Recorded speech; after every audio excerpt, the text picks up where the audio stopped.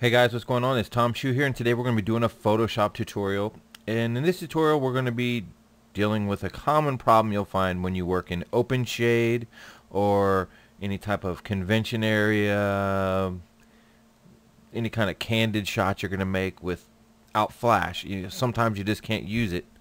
However, you can't present client images that look like this, okay? In this picture you're going to see Elizabeth Watts over here on the left and Jane DeNoble on the right. Uh, they're pretty famous TV spokespeople, especially Jane. She's been in lots of movies like Stepford Wives, and uh, she's been in a lot of stuff. Anyways, you can see that the overhead light is causing her bang for a shadow on her forehead, which isn't so bad. However, the dark sockets, especially in Elizabeth's eyes, they're really rough, you know, and, and you just can't offer images like that and call yourself a professional. So you have to retouch them. You got to do it fast. So this is how you fix those dark sockets. We're going to grab our lasso tool, okay, and we're just going to make a selection, okay, with that lasso tool. Just make a circle around her eye, okay. We're going to hold down the shift key and we're going to make another circle around her eye, okay. Let's zoom in a little bit here. Now, with that selection made, what you want to do is you want to feather the edge of it so it's not just a solid circle. So we're going to go selection, modify, feather. Now the shortcut is shift F6 or you can map one yourself. Okay, now depending on the size of the file and the size of the selection, you can adjust your radius. You have to experiment. So around 10 or 12 on this one is good. Okay. Now we're going to duplicate this information from that selection, everything inside that circle on a new layer. To do that, we're going to hit Control J, and that's Command J on a Mac. Okay. Now you can see that it's got the selection, but it's not a solid line. You see how it's kind of feathered? Right? That's what that feathering does. so let's turn back on this information. Now let's make those dark sockets go away. We're going to change the blend mode of this top layer here. We're going to change it to screen. Now I know it's a bit much, and that's okay. We'll control the amount of the effect with the opacity slider. So will just crank it up for now. And I find that when you zoom in on things, it might look good zoomed in, but when you zoom back out, it might look like an alien. See how it kind of looks like a white ring around her eye? So what we're going to do is we're going to hold down the Alt key, that's the Option key on the Mac with that layer selected, and we're going to come down here and we're going to click on this layer mask icon. That's going to hide everything on that effect. We're going to grab the paintbrush tool. Now we're going to feather this paintbrush okay the same way we feathered the selection.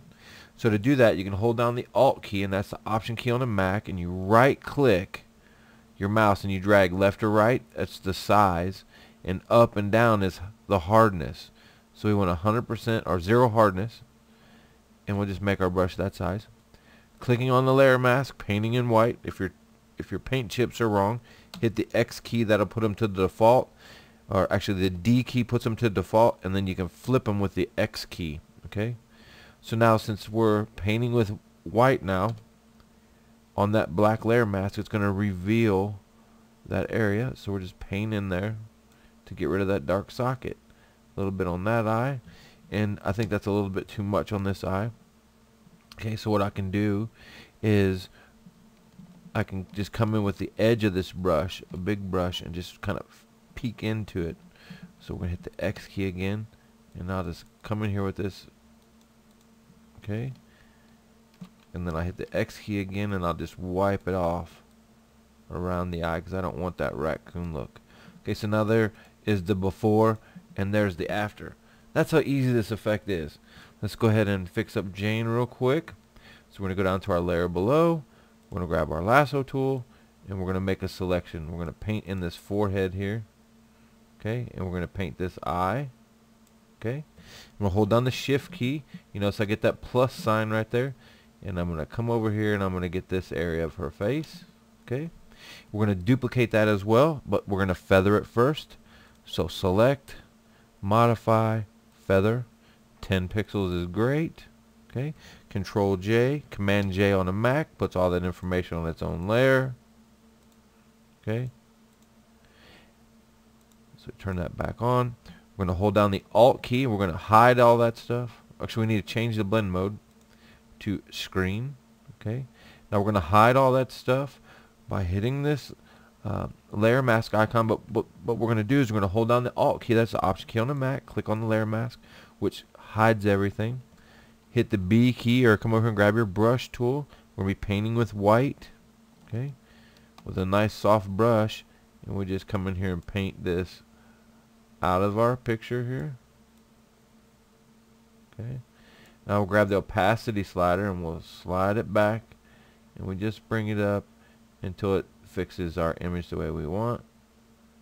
Okay, it looks like it's a little bit too much around the bottom of the eye. So I can fix that. So we'll click on the layer mask, grab our brush tool, and this time we're going to be painting with black.